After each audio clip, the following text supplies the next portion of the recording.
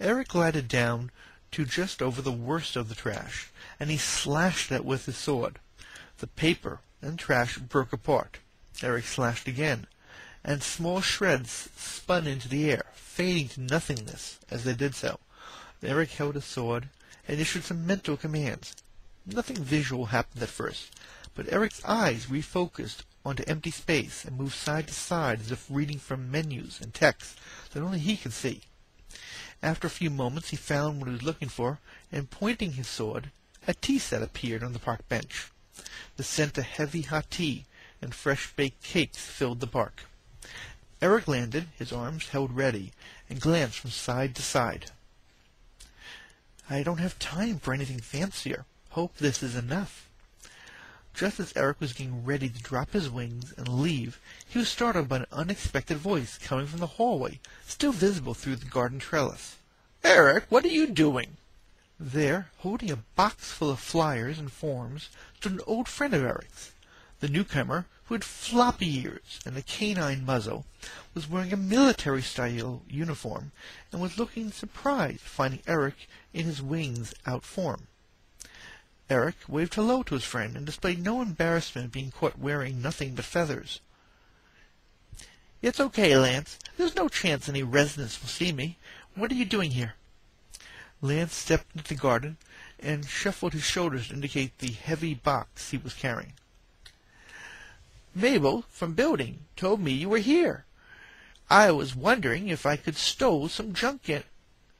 While Lance was talking, Eric gave the mental command to cause his wings to fade away, and his normal uniform to reform around himself.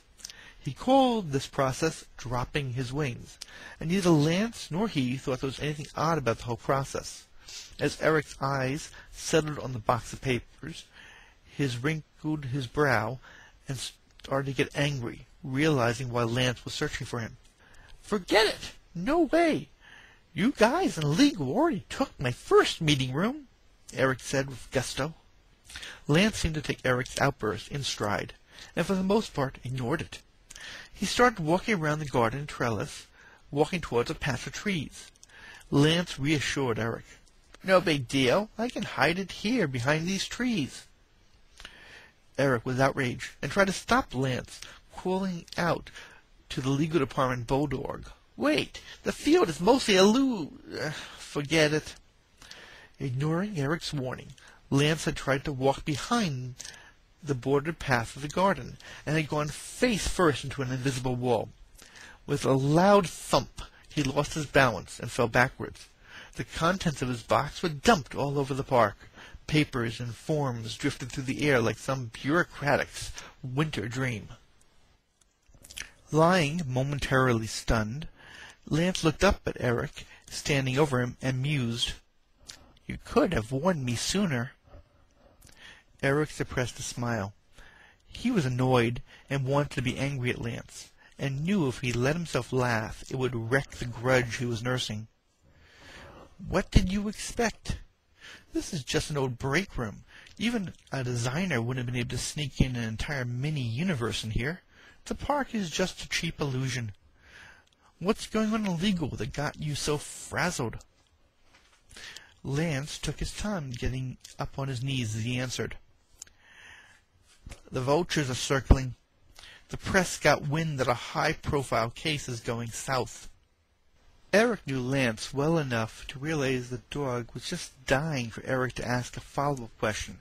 Then Lance would wax on for an hour about all the problems in legal, and all the frustrations he always had about his desk job there. Eric didn't have time to waste on that now. He shrugged his shoulders and said, I don't think I want to hear any more. Just clean up. I need to get back to the Hecklebaums. Lance looked around at the mess and started grumbling as he picked up the first messy handful of papers. Fine. I'll find some other place to stow this junk. Eric was already out of the garden, and Lance followed a few moments later. Neither noticed that behind the teapot that Eric had summoned, a box of papers labeled jury forms had landed right side up, as if neatly placed there.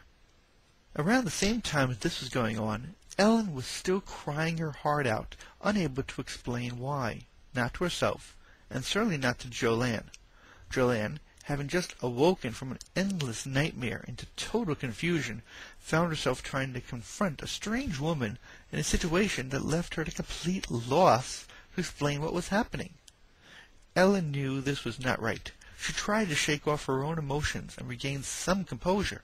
She thought to herself, Stop it! Jolene, meanwhile, said what she felt. I don't understand, dear, but I'm sure it'll be all right. Ellen forced herself to stand up again and shuffled back to her own chair. No, this is all wrong. I should be comforting you. I'm so sorry, Mrs. Hecklebaum.